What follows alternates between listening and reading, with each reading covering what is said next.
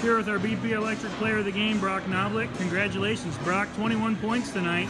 Normally you're a three-point shooter, but tonight it was all about that uh, transition lane game. Kind of talk about that. Yeah, well, uh, to start of the game, they were kind of guarding me tight, so I drove into some nice moves and was able to finish, which was nice.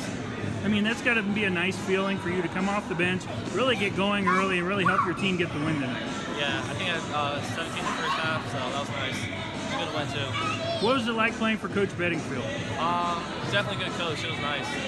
Are you, nice guy. are you going to miss playing for Coach Sanders, though? Yeah, I will. What does he miss? What does he mean to you as a player? Um, well, I feel like he's really helped me out a lot this year, especially towards the end of the year. He kind of helped me out get going, so he's a good coach. Awesome. Thanks, Brock.